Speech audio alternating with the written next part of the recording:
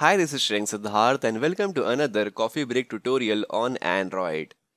Now in this video we will explore how to create highly efficient 9-patch drawable image inside Android Studio. So firstly, why do we need 9-patch drawable image? Why can't we just use a PNG file which is very simple and straightforward solution? So for this, let me explain it to you in simple words. Well, suppose this is a PNG image. Now, if you stretch this image beyond its capacity, like this, then the image will lose its sharpness and it will get blurred of course. But if you consider a 9 patch image and stretch it as much you can, then the image will look elegant and it will never lose its sharpness. So this is the reason why 9-patch images are also known as resizable bitmaps.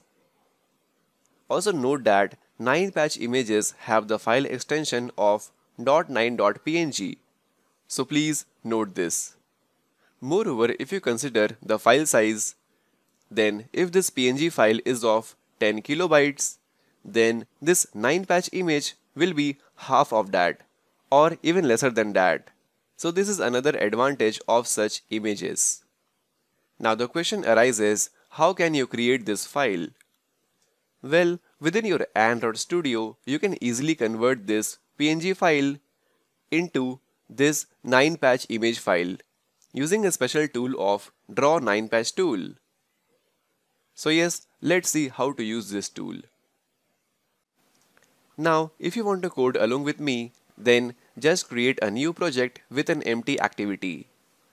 And then download the gist files, link is in the description. And add this image and this layout file in your project. Like this. So here are these two files. Once you add them within your main activity, just replace this activity main by activity temp. Well, you can use activitymain.xml file as well. It is up to you. But since I have added this file, so I have just linked this file to the main activity. Once your setup is complete, let's get started. So if you open this chatraster.png file, then you will find it has 100 by 100 pixel dimension. The image is quite small in size. And if you take a look at our layout, then you will find a text view at the center. And for this text view, I have already set the background as chat raster drawable file. So at present our text hello with this icon as background looks fine. Right, so now let's add more text here. So here if you notice with increase in text characters the image stretches disproportionately. If you add more text to it and take a look at your layout. Then again, the image stretches irregularly. And also the image has started to lose its quality. That is, the more you stretch it, it will lose its sharpness. Because right now we are using a very low resolution image. And of course, if you stretch any image beyond its limit, then it will certainly get blurred. So here, what is the solution for this? Well, the solution to this could be to use a high resolution image which when stretched won't lose its quality. But again, using a high resolution image will increase the image size and would ultimately increase the APK size. So the best possible solution would be to use a special kind of drawable known as 9-patch drawable. So we can convert this PNG file into a 9-patch drawable. Let me show you how.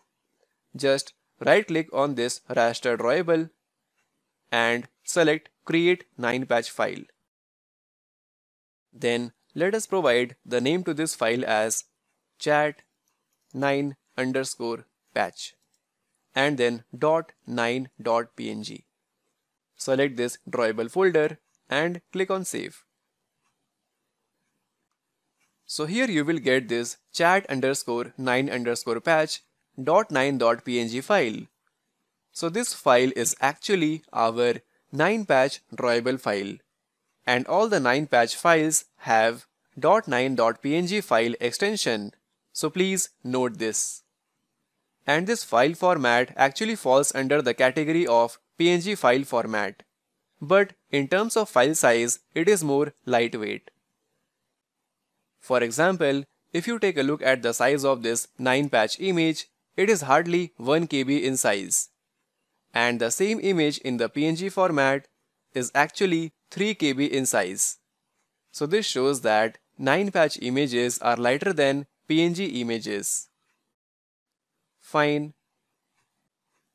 Now, in terms of performance as well, the 9-patch images are much better than PNG files because 9-patch images expand or contract without losing their quality. Let me show you how. If you open this file, then the file will open in a special tool known as Draw 9-patch tool. And using this tool, you can modify your 9-patch drawables. So before we start, make sure this 9-patch tab is selected. And within this tool, on the left, we have the drawing area. Here you can modify our image. And then on the right, we have the preview area, where we can preview our graphic when stretched. So, the first is the preview of how the image will look when stretched vertically. The second is the preview of how the image will look when stretched horizontally. The last one is the preview of how the image will look when stressed equally in all the directions.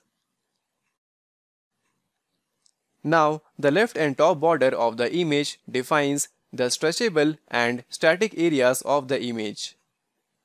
If you hover over the left border, then you will find these two lines. Let's drag the top line and put it here. And then drag the bottom line and put it here like this. So this black line defines the part of the image that will stretch vertically and the preview of which you can find in the preview window like this. This preview will show you how the image will be stretched vertically. Now, there is a reason I have defined the black line over the flat and smooth part of the image. If you put the black line on the curved portion of the image, over here like this, then you will find just because this is our stretchable region, our image when stretched looks quite distorted.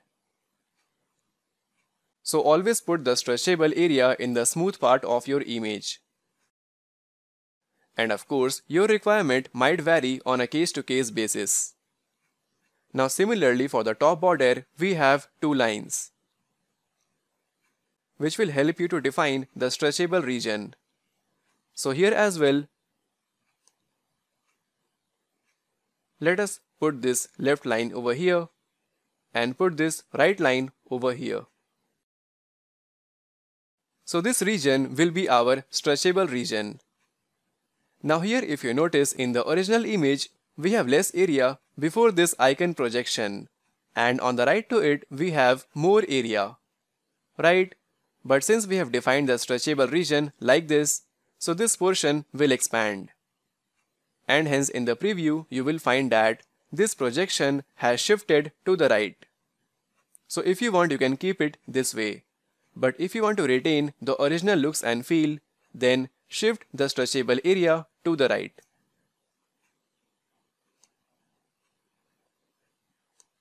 Like this. So now this region will stretch. So accordingly, we will get this projection onto the left. Great, isn't it? And here at the bottom, if you click on this checkbox, Show Patches, then it will show you the stretchable patches, such as vertical stretchable patch and horizontal stretchable patch. Now moving on, what about the text view? Where it should be placed within this image? Well, to know that at the bottom, we have another checkbox, such as Show Content. Just check it. So here, the blue region is the actual area where your text will be placed. And right now, as per the preview, the text will flow out of the chat icon. but I want the text to appear just within the icon. So let's fix that. So at the bottom, let's drag this line and keep it here like this. And from the right, let's drag it and adjust the area. And then on the right, let's do the same thing. Let's define the content area. Great. So accordingly in the preview, you can see the changes. Our text will appear on this blue region. Now next, here at the bottom, you will find image file editor, which will show you the final 9 patch image which we just created. Now let's go to our layout. And here we are still using the raster drawable. So let's use a 9 patch drawable. So let's change it to chat 9 patch. And now you can notice the change in our output. It looks great, isn't it? Now let's add more text here but in the new line. Like this. So here is the output. Now let's add more and more text with the new line. So I will copy this text and paste it 5 to 6 times. So in the preview, the drawable stretches in the vertical direction as well without losing its quality. So this is the beauty of using a 9 patch drawable. Now here we have a problem. Our text is not within the desired content area which we just defined within our 9 patch drawable, right? So why it is actually happening? What went wrong in our layout? Well initially I was worried too but when I ran the application, it worked fine. So here we go, our drawable is working perfectly fine. How cool is that? So basically we had some layout rendering issue in the preview window of our layout. So no need to worry about it. So this is how we implement the 9 patch drawable. So yes, in the end, I hope you enjoyed learning something new in this video. Do let me know how was the video. And also, if you want some videos on a specific topic, then do let me know in the feedback section. This is Sriyank Siddhartha signing off. Thanks for watching and see you next time. Have a nice day.